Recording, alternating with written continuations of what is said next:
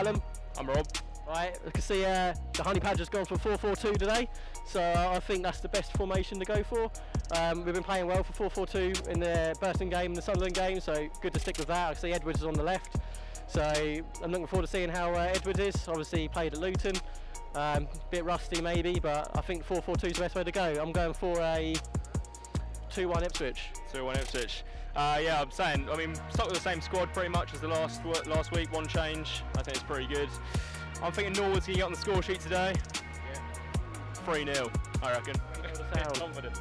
Samuel, um, obviously, I don't think we should underestimate Peterborough today. They do have a strong squad. They've obviously made a lot of signings in the summer transfer window, um, including uh, Mo Eisa from Bristol City. Um, but they're just gelling together, uh, adding a bit of chemistry to their squad, playing different formations. Um, I think once they've got that sorted, they will be a really uh, big promotion contender. So uh, it won't be easy today. I'm going to say a 1 1 draw. Hopefully, Norwood get on the score sheet after not scoring in his first two games. Um, but yeah, come on, you Blues. Yeah, so I'm Ipswich Fan Zone, and this is the infamous Thomas Whitby, and we're here to tell us, tell you our thoughts about today's game. So, Tom, what are we going for?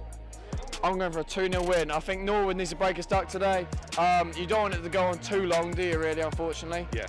Um, because then confidence is going to start to drop. But hopefully he nicks the goal, don't care if it goes off his arse or not.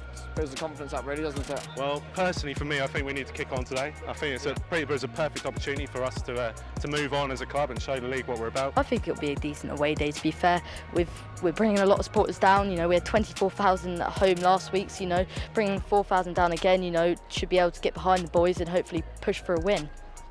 What's your prediction? I think we'll concede, unfortunately. I like to stay optimistic, so I'm going to say a 2-1 win for Ipswich.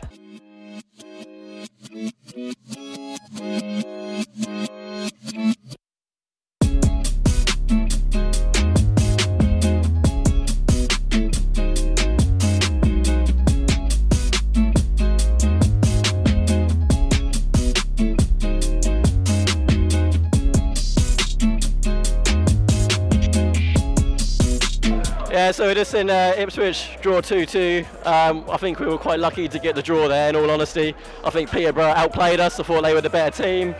Um, questionable performances from Kenlock. Wasn't sure on his performance. I think uh, Jackson, definitely their uh, best player at the moment. He uh, seems to be winning all those balls. Jack Jackson seems to be winning all the balls at the moment. He, he looks like one of our better players. I think Judge had a better game.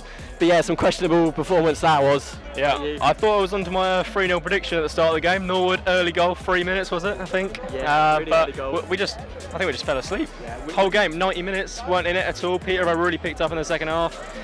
But I mean, I'll take, I'll take 2-2 coming here. Definitely take a draw. I think Peterborough deserve to win that. In all honesty, yeah, we'll see. We'll see how. Um, do you think Lambert will change it for Tuesday?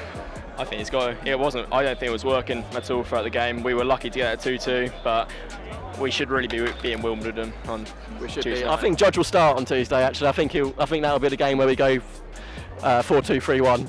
Yeah.